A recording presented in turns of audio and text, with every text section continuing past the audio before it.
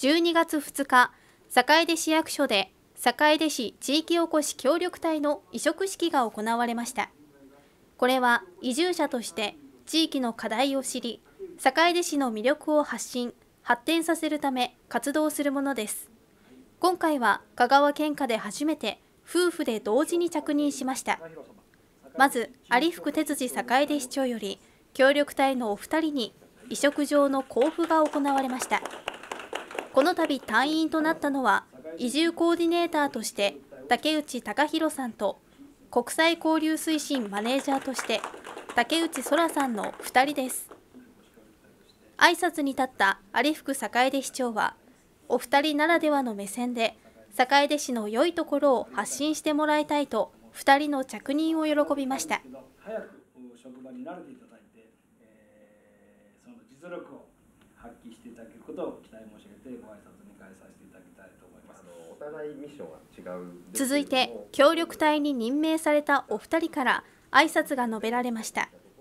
坂出市では協力隊の2人が3年間の任期中に坂出市に住みその良さを知って広く情報を発信することで地域活性化への起爆剤になることや外国の方との交流の機会になること。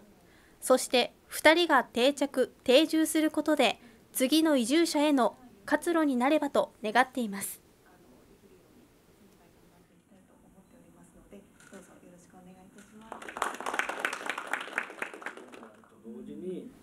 2人の任期は1年ごとに更新され最長3年間の予定です。まずはやっぱりこう坂出の町のことをしっかりと知って、まあ、地域の方あと市の方と、まあ、コミュニケーションをしっかりと取りながらあの自分たちが外から来てる身ではありますのでその視点をあの大切にしながら、まあ、よりあの多くの人にこの町の魅力っていうのを伝えられるようにあの活動していきたいなと思ってます。はい